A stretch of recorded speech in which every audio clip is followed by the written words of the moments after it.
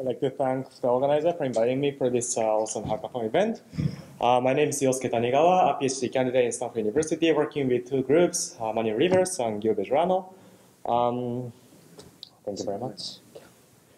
Uh, today I'd like to talk about some application-specific ontology uh, for analysis of non-coding genome, which I name as transcription factor ontology. Um, oops. So I study genomics, uh, basically trying to understand what type of genetic variation influence on different types of like biological function, including cellular differentiation, diseases, pathway, and so on. Uh, one of the important key regulator on the genome is a transcription factor. Transcription factor is a certain set of protein that binds to DNA and regulates their uh, gene expression. For example, here we see different types of cell types, like most of them are fibroblasts. If you have particular gene like MyoD, the cell direct uh, uh, their destiny towards like a muscle cell. If you get other types of like transcription factor, their destiny can be changed to different types of cell types. So understanding the role of transcription factor is very important in biomedical applications for most of the cases. As I briefly mentioned that, like a transcription factor is a protein that binds to DNA. Here I show some schematic representation from some ENCODE news article, where if you look at the DNA glossary, there is a protein binding to the DNA, which I circle in the red. So um, then they interact with the neighboring elements on the genome, and then try to like uh, express or repress the neighboring gene. So we know how it works, and um, but like uh, the, there's increasing evidence that like this kind of transcriptional misregulation leads to human diseases. For example, if you know that specific gene expression is disrupted in certain contexts, they can change developmental like disorders or cancer or like immune like disorders and so on. Um, in the Bejerano lab, people have recently shown that a combination of rare genetic variation and common genetic variation contributes to like increase or decrease the risk of diseases. And so my, our hope is that like if you understand like what's going on in the transcriptional regulation space, we can have a better understanding of what's going on in terms of like a molecular basis of different types of diseases. But most of the analysis tool available today is sort of under par because data is not in a good fashion, like it's not usable. So how can we study this kind of transcription factor? There are several different kinds of ways to approach this kind of approach. One is doing some experiments, such as ChIP-seq experiments, chromatin precipitation followed by sequencing. So this is basically using antibody to select some DNA fragment bounded by specific protein, and use the DNA sequencing technologies to collect where the peak exists, like such as like that that kind of like uh, a special distribution of transcription factor is very informative. Uh, not only for uh, where the binding site will be, but also for the function. Uh, recently, some analysis from like ChIP Atlas for other types of like project have a large collection for this kind of data sets. So like there are a lot of data uh, waiting for us to be analyzed. However, there is a major challenge that, like uh, Sebastian mentioned that there is a lot of different kinds of cell types. Here I have some schematic representation from ENCODE project. On the vertical axis, they lay out different types of cell types. Like uh, as of like 2012, there are like different hundreds of cell types. Now with the emergence of single cell like sequencing or single cell profiling technology, there are like uh, you know thousands of different cell types in the human body. And if you like to study transcription factor, you need to consider all the possible combination of different kinds of cell types and different kinds of transcription factor. And unfortunately, there are like 1,500 different kinds of transcription factor in human genome. So considering all the possible combination of different cell types and different types of transcription factor is nearly impossible.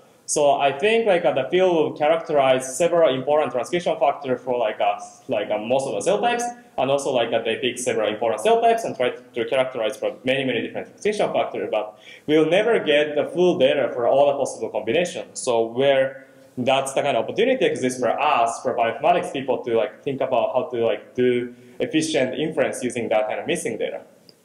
Another approach is instead of like doing some experiment for all possible combination of cell type and transcription factor, people started to realize that they can summarize the binding affinity of the transcription factor using sequence motif. Here I have some example from some public data set, like this is a binding motif for GATA protein. So this protein binds to DNA with that kind of sequence signature. So in principle, if you characterize this kind of binding affinity for a transcription factor, you can scan the genome and try to identify where will be the binding factor, although there is uh, some challenges of the cell type specificity, but there are some algorithms doing that business very well. So if you like to do some inference, like uh, basically looking at experimentally characterized data and try to understand what's going on behind the scene for diseases or biological processes or developmental trajectory, you have several different problems. Uh, first one is like missing data. As I mentioned that like uh, the total number of combination of the different kind of cell types and different kinds of transcription factor is huge. And given the increasing effort from the community such as Cell Atlas project, this combination is keep increasing. So we cannot exper do experiment for everything. And if you look at the biological function of transcription factor, they binds to DNA as a consequence of environmental stimuli. It can be coming from some signaling process from uh, environment sensing or some types of like uh, interaction with some environment. So in principle, if we have a better annotation for each protein, you may infer, given that this transcription factor is activated in a specific context, you may infer what will be the upstream signaling that activates that specific transcription program. That can improve our understanding what's going on in, the molecular, in terms of molecular basis of different diseases. And more trickily, I mentioned that there are 1,500 different kinds of transcription factor. They are not independent with each other they are result of the evolutionary process. So if you look at the sequence affinity of the different transcription factor, I have three examples. They look very similar, but they are like sequence motif for three different kinds of genes. So this is uh, expected because they are result of evolution. So they, they are like a sequence binding affinity and their biological functions are very correlated with each other. So this is uh, challenging, but also provides some opportunity. One is challenging because like if you if you don't have a good data annotation, you can be easily confused like what kind of transcription factor is important for a given context. But if you can like uh, annotate the data set in a proper way and use that similarity to fill in the gap on the missing data, you can do a better job with the limited data. And also, this protein works in dimer in many cases, so like that kind of information needs to be stored. Currently, like these, there exist in different domains. If you look at the OBO Foundation, there is like a reactome, like a pathway information, or some sort of like a GWAS catalog types of information to link some particular transcription factor, transcription factor gene body mutation to the disease risk. But like uh, integration of these like different kind of data set is not a trivial task. So I propose to like uh, build some working version of the ontology or structural representation of this kind of information uh, in this hackathon, I'd like to build uh, some working version of transcription factor ontology, which would be the application ontology. We are not building everything from scratch, rather try to like integrate different data sources and build some like RDF uh, uh, SPARQL query endpoint and use some Protege to like build some like structural representation while keeping the reference to the original data. Once we have this kind of application-specific ontology, we should be able to answer a lot of interesting questions uh, for example, if you like to study specific functional transcription factor in given context, you can find the exact match from some experiment. If not, you can try to find a good proxy for that kind of application. Um, if you use the data set, like you can do the better job to interpret the enrichment analysis from like gene set or gene regulatory, region enrichment set analysis, like trying to connect the regulatory domain variation into the related pathway.